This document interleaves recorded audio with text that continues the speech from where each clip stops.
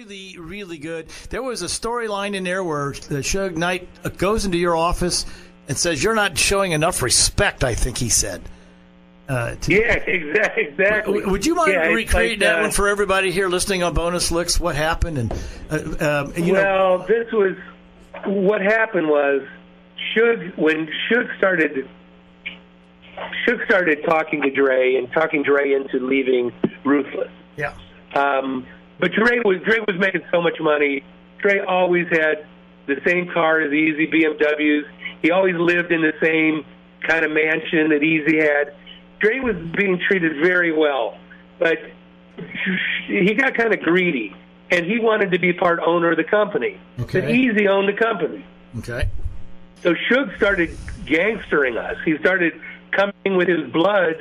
He was one of the bloods to our offices in Woodland Hills, and uh, so Jerry calls one of his buddies, this guy named Mike Klein, this Israeli guy, who is a serious dude, way more serious than Suge.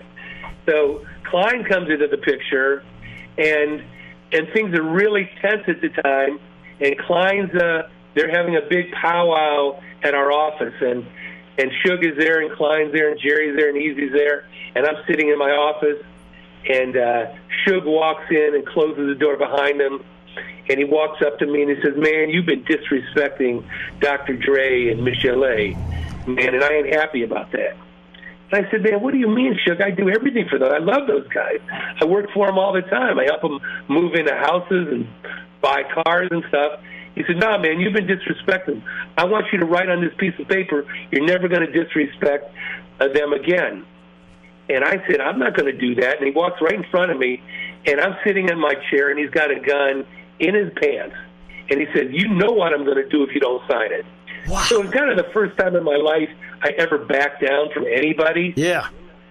But, I, you know, hey, it's Suge Knight, so I guess it's okay to back down from him. But, you know, he was just playing me and punking me. and Yeah, he was trying to just uh, intimidate you.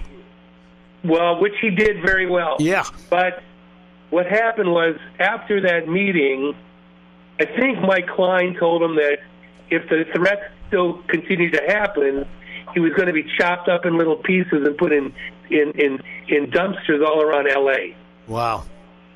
So that was the end of that. Yeah. So at that point, they they they re- they negotiated. It was an override. You know, they started Death Row. Eazy made money on everything Death Row did. You know, we kept recording. You know, so we had Bone Thugs. So we kept moving.